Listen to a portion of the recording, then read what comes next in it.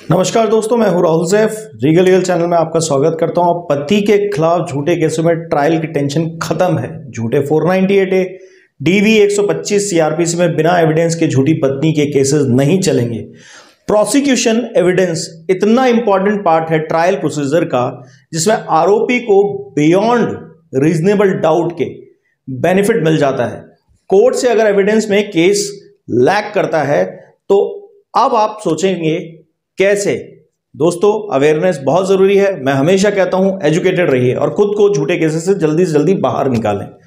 दोस्तों legal eagle आपको legally educate करने के लिए प्रयासरत है। और इसीलिए हम कहते हैं कि आप एजुकेटेड हो जाइए, शिक्षित हो जाइए और खुद को मानसिक रूप से मज़बूत बना लो।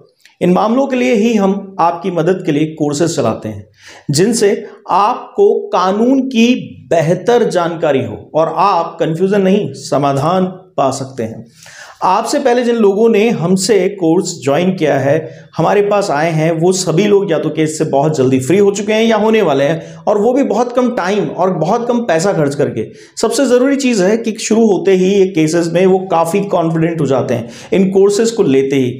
अगर आप भी इन कोर्सेज का हिस्सा होना चाहते हैं तो सबसे ज़रूरी यह है कि यहाँ दिए हुए व्हाट्सएप नंबर पर मैसेज करके डिटेल्स मांग सकते हैं और हमसे जुड़ सकते हैं।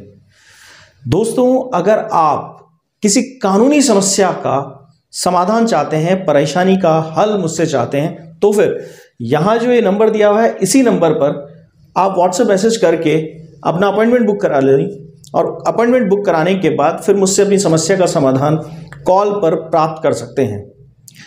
अब, सुप्रीम कोर्ट के historical judgment Jayprakash Tiwari versus state of MP 2022 का जजमेंट है, को नजीर मानिए लैंडमार्क जजमेंट है, की तरह यूज़ किया जाएगा अब ये।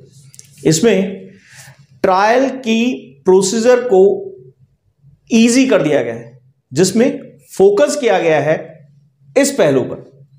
कौन कौन से हैं वो पहलू? प्रोसिक्यूशन एविडेंस एक। दूसरा है scrutiny of statement of close relatives दो। तीसरा recovery of weapon oblique evidence of weapon offence statement under section 313 CrPC धारा 313 सीआरपीसी की आवश्यकता यह है कि आरोपी को उसके खिलाफ सबूत दिखाई देने वाली परिस्थितियों को स्पष्ट किया जाना चाहिए, ताकि आरोपी स्पष्टीकरण दे सके। डिफेंस एविडेंस यानी कि एप्रिशिएशन ऑफ़ एविडेंस ये जो है, ज़रूरी माना गया है।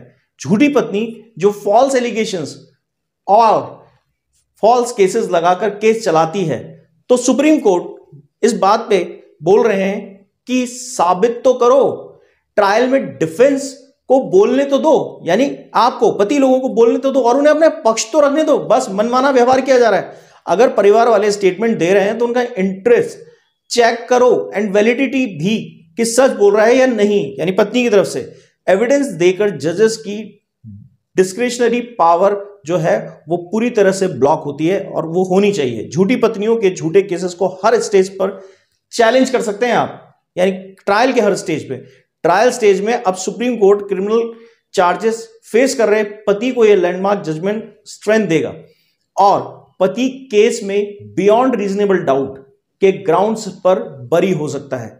जो इस केस में हुआ है, जिसकी मैं अभी बात कर रहा हूँ जजमेंट की, आरोपी को बरी कर दिया गया। दोस्तों एजुकेटेड होइए और सशक्त रहिए। सबसे ज़रूरी चीज़ है फॉल्स केस में पत्नी को आप तभी पछाड़ पाएँगे। ये पूरा मैटर एक सिंपल सी लाइन में समझा देता हूँ। ज़रूरी यह है कि आपके द्वारा अगर एविडेंसेस नहीं भी दिए गए हैं तो घबराने की ज़रूरत नहीं है। पर कोई भी क्रिमिनल चार्ज में केस चलाने के लिए ज़रूरी है कि उसमें एविडेंस होना चाहिए। अगर वहाँ एविडेंस नहीं है तो ये मजिस्ट्रेट साहब की गलती है, ये जज साहब की गलती है, वो आपके साथ गलत कर रहे हैं। ये पूरा का पूरा केस उनकी गलत जिम्मेदारियों का एक एग्ज़ाम्पल सेट करता है। इसको लैंडमार्क जजमेंट मानिएगा। आपके मेट्रीमोनियल डिस्प्यूट्स के अंदर। दोस्तों वीडियो अच्छा लगा लाइक कीजिएगा और शेयर कीजिएगा सब्सक्राइब कीजिएगा और बता के जाइए कमेंट सेक्शन में कि आप इस वीडियो का जो ये जजमेंट लेने वाले हैं, अपने केस में किस तरह से फ़ायदा लेना चाहते हैं। Thank you